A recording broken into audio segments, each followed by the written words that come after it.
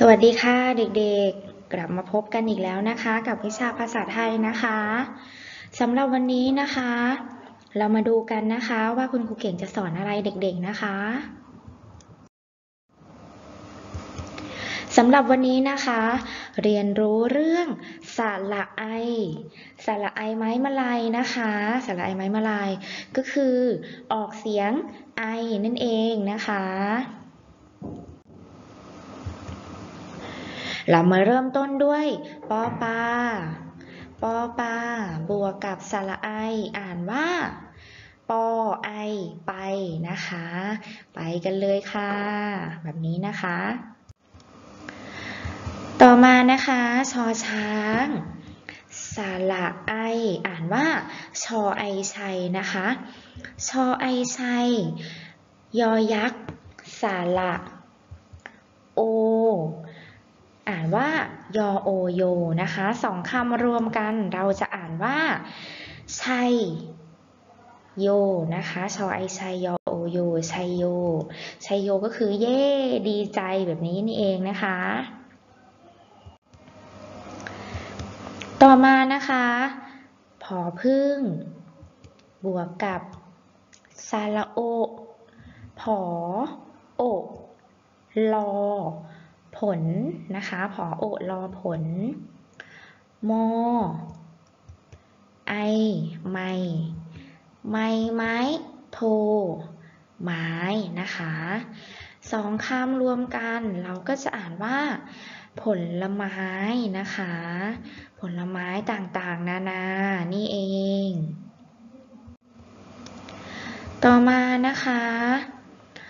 ถอถุงนะคะ สระไอ ก็คือถอไอไถ รวมกันกับนอหนูสระอานอหนูสระอาอ่านว่านออานา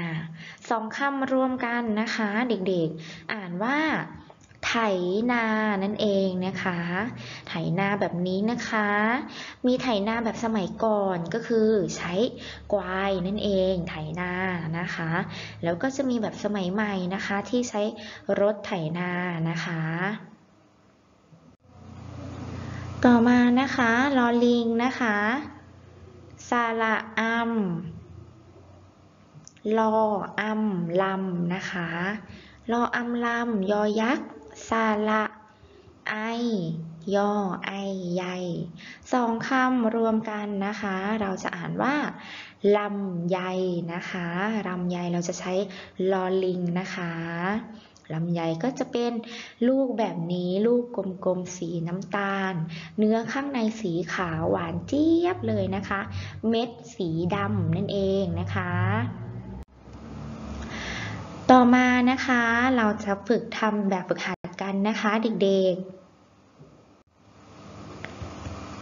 ให้เด็กๆนะคะเตรียมหนังสือนะคะ พัฒนาภาษาไทย เล่มแบบนี้นะคะ เด็กๆเปิดเลยค่ะหน้า 26 พอเด็กๆเปิดเจอแล้วนะคะ เด็กๆจะเจอหน้านี้นะคะ เด็กๆมองนะคะ หน้านี้จะประกอบด้วย ให้เด็กๆนะคะ เขียนคำในช่องว่างให้ถูกต้อง และอ่านประโยคนะคะคำที่หนึ่งก็คือปอไอไปคำที่สองก็คือชอไอชัยยอโอโยชัยโยนะคะคำที่สามก็คือพอโอดรอผลมอไอไม่ไม่ไม่โทไม้ผลไม้คำที่สี่ก็คือถอไอไถนออานาไถนาแบบนี้นะคะ ต่อไปนะคะคำว่ากันไกลนะคะกรอรอกัน กรอไอไกลกันไกลนะคะ ต่อมานะคะให้เด็กๆอ่านข้อหนึ่งมออามารออีมออามานออีนีมานีนะคะ รอโองอโรงรอเอียนอเรียน โรงเรียน มานีจุดจุดจุดโรงเรียน มานีทำอะไรโรงเรียนคะอะให้เด็กๆ ลองเดาสิคะ มานีทำอะไรโรงเรียนคะ อ่า มานีก็คือ ไปโรงเรียน เด็กๆก็กากระบาดคำว่าไป แล้วก็เขียนให้เรียบร้อยนะคะ ต่อไปข้อ 2 นะคะ เด็กๆก็อ่านพร้อมๆกันนะคะ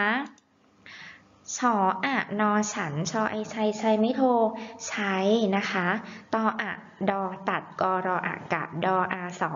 ดาด ฉันใช้อะไร ตัดกระดาษคะเด็กๆ เราใช้อะไรตัดกระดาษคะอ่ากันไกลนั่นเองนะคะกันไกลก็กาเลย แล้วหนูก็เอาคำว่ากันไกลไปใส่ให้เรียบร้อยนะคะ ต่อมานะคะข้อ 3 ชออะนอฉัน ชออบอชอบ รออะบอรับปอรออะประทออานอทาน ฉันชอบรับประทาน รับประทานอะไรคะลูกอ่ารับประทานชัยโย รับประทานผลไม้หรือรับประทานไถนาคะ อ่ารับประทานผลไม้นั่นเองนะคะ แบบนี้นะ แล้วหนูก็ไปเขียนให้เรียบร้อย เสร็จแล้วอีกสองข้อนะคะ ให้เด็กๆลองฝึกสะกด แล้วก็ทำเองนะคะ เมื่อทำเสร็จแล้ว ให้เขียนชื่อนะคะ นามสกุล ชั้น ชั้นของตัวเองอยู่ตรงนี้นะคะ ชั้นของตัวเอง อจุด3ทับ1ทับ2ทับ3อยู่ทับอะไรก็เขียนทับนั้นนะคะ